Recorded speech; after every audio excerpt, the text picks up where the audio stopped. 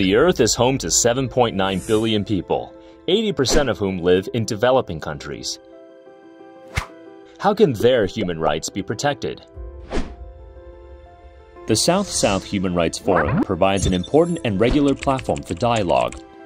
Since 2017, adhering to the concept of promoting development through collaboration and promoting human rights through development, the forum brings representatives from developing countries and international organizations together and has become an important platform for developing countries to exchange ideas and cooperate on human rights issues. The 2017 Beijing Declaration issued nine principles for developing countries to speak together on human rights. The 2019 forum discussed global human rights governance with respect to the diversity of civilizations. It built consensus on cooperation and development. What has been discussed in the past four years? Development, mankind, governance, collaboration, and people.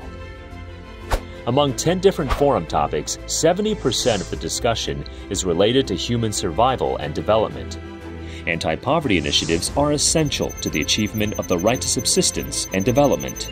In the last 30 years, the poverty rate in East Asia and the Pacific region dropped to around 1%. As an important aspect of the right to development, the education situation is gradually improving.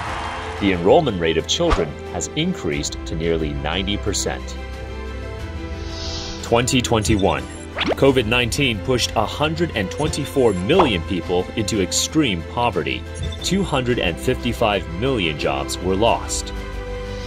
In some African countries, COVID 19 vaccination doses were highly insufficient.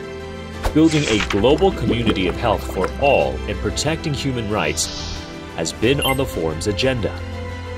Facing challenges, we need to put people first and enhance global human rights governance and together build up a world that leaves no one behind.